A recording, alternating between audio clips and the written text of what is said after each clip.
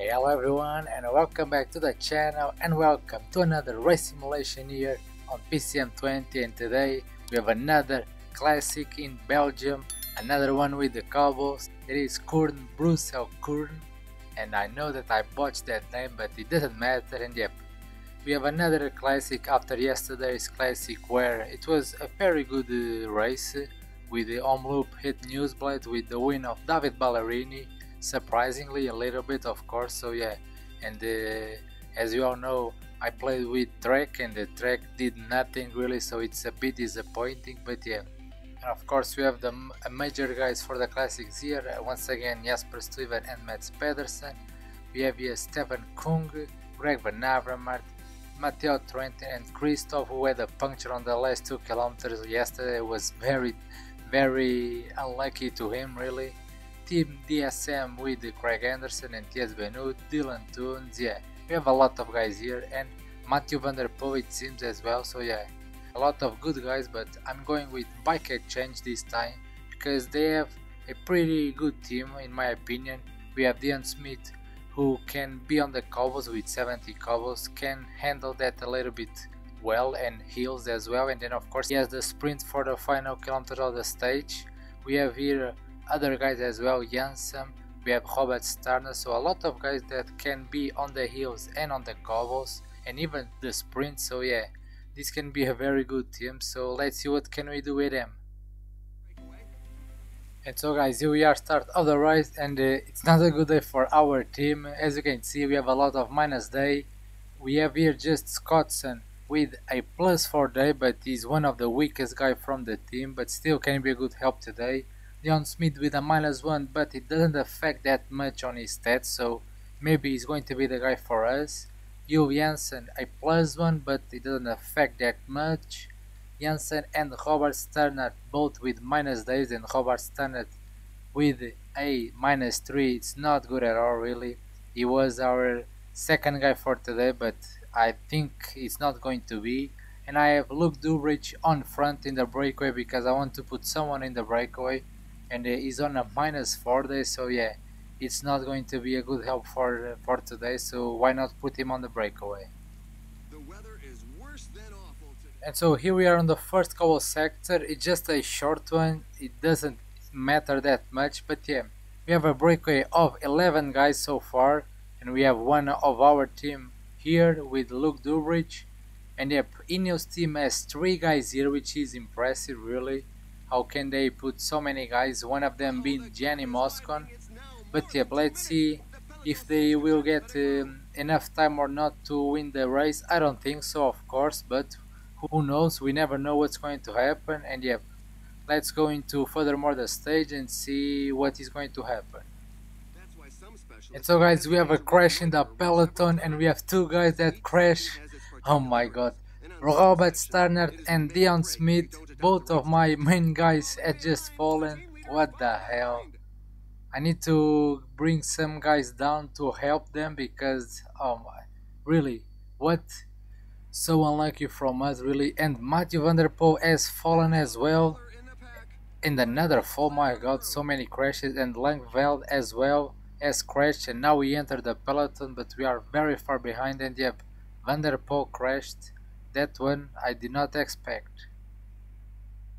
So guys, we are more or less halfway through the stage, 100 kilometers to go, and the peloton had just break apart really. We have a group behind 57 guys, and some of them is one of my guys, but we have here some big guys. Let's just see: Izagirre, Tim Wellens, we have Aramburu, more. I think we have more guys. Denga and Cole, Niki Terpstra. So yes, some big guys are here behind. Sonny Colbrelli as well. Kragh Andersen. Oh my God, Edward Theuns leavings but they are entering the peloton but yeah that cobble section that we just had might just made a big impact to the peloton really and we need to be careful not to be caught on that and try to stay up front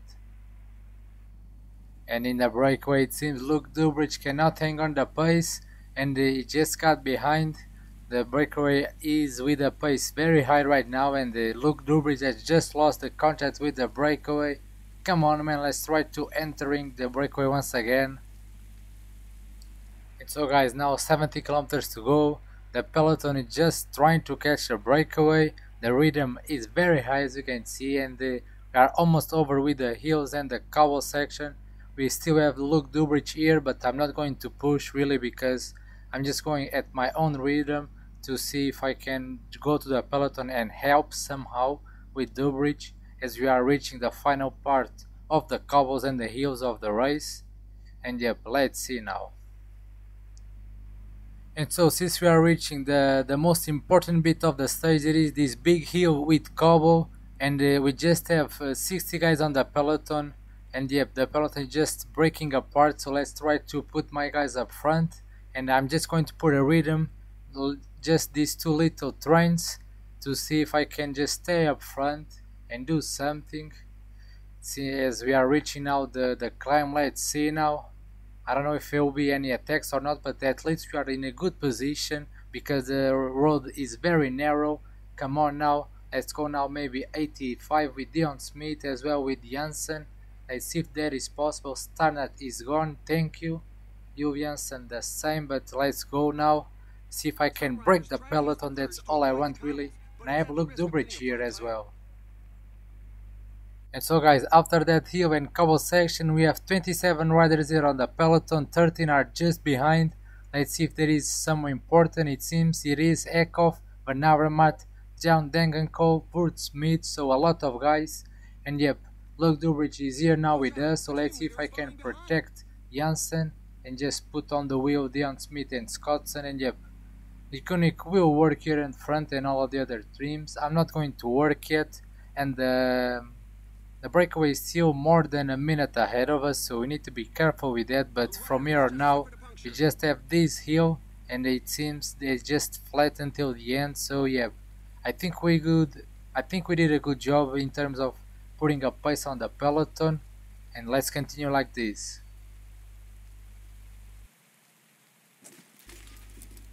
no oh my god guys, another fall for our team, let's pause it, oh my god, I cannot believe this. It is Durbridge and Janssen, and I think it is Stuyven. Oh my god. What can I do here? Let's hope that they don't uh, abandon, but still, I think they're out of the race right now because we're so far behind. I cannot believe this, my god. So we're just now with Dion Smith and Scotson, so it's not the best, but we have Dion Smith for the sprint, so yeah, let's see if uh, he can hang on here to the final sprint. And in the group that had just had the crash, we have Stuyven, Pedersen, Van Poppel, Yves Lampaert, Kragh Andersen, Bryan Coquard, Van Gestel, Laporte. So yeah, a lot of big names are behind as well. That's a good thing for us so that we can re-enter with Janssen because they are putting the pace, the other guys.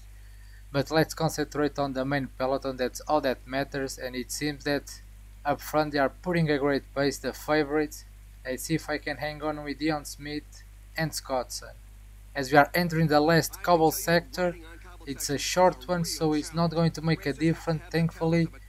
And yeah, from here on now it's just flat until the finish so let's hope that we can use Dion Smith on the sprint. And so guys, no more breakaway, we just been caught the breakaway when we are on the last 20 kilometers of the race we have still just Dion Smith and Scotson up front, but uh, I think it's enough really. I think Dion Smith has the possibility of winning at the sprint, who knows? But of course we have the likes of Van der Poel here, who can be a great danger, but he's putting a lot of pace up front. So yep, it's just out of energy, which is very surprising really. Why the hell is pushing that much if it's going out of energy? But we have Kristoff as well here, and this is not a good one of course my god, Kristoff here. It's not a good sign for us, but let's see now. Let's see what can we do. And Tiesj Benoot is attacking, it seems. Tiesj Benoot is attacking with John Degenkolb. Let's go with Dion Smith to see if I can go up front. And I just lost my energy, damn it.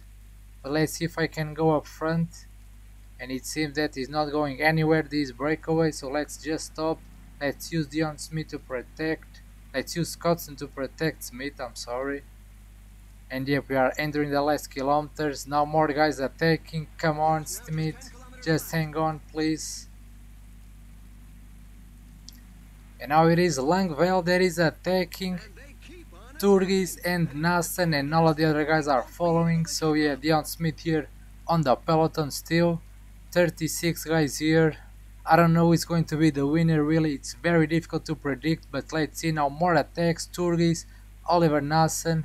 Come on Smith, do not lose the wheel of this group. That's all I want. Let's try to go up front and now a big attack is happening as we are on the last 5 kilometers. Let's use the energy gel. Scott, what are you doing? Okay, you are pacing. That's good, of course. Let's try to use Dion Smith. Somehow, I really don't know what to do, damn it. But I think we are going to cut these guys up front, which is good. Oh my god, what wheel should I pick for the sprint, really? I don't know. Now more attacks. We are on the last 2 kilometers now, let's see. Tiesj Benoot is launching. Let's put a pace ourselves, let's go, last kilometer now. Dion Smith launches the sprint. I don't know, maybe it was too late to launch the sprint, my god. And the win is for Merlier ahead of Fabio Felline and Nils Politt and Alexander Kristoff just on a fourth position. And my god I should launch the sprint much earlier. Dion Smith with a lot of energy remaining. Cannot do better than an 8th place. So yeah not a good result I believe. I think we should do a little bit better but it is what it is and the, the winner is for Tim Merlier which is a very hot winner in my opinion. And, and yeah guys what a race this was really. Very exciting with a lot of breakaways and a lot of little groups. And in the end a very hot winner by Tim Merlier ahead of Felline and Nils Politt and yep Dion Smith just on 8th place. We could have done a lot better in my opinion I know that. But still it was a very strange race anyone could win really and in the end it was for the guy from Alpecin-Fenix. and so guys it, this is the final classification and I'm just looking at the stats of Tim Merlier and maybe he was the leader on this Alpecin-Fenix with 77 sprint and uh, maybe this is why Van der Poel was pacing up front on the group although he's a better rider but he's not that quick so maybe that was the strategy and maybe this is a, a fair winner I cannot complain really because if beaten guys like Felline, Nils Politt were not great sprinters of course, Kristoff and Demare are great sprinters, but maybe they were on a bad day, who knows, and yep, like I said, Dion Smith 8th place, not a bad result, a top 10, but I think we should do a lot better, I know that, but once again, it is what it is, it was a very good race nonetheless, and uh, let's hope that today and let's hope that later today we can have an exciting race just like that one that we have here. And yep this is it for now. Stay safe. Bye bye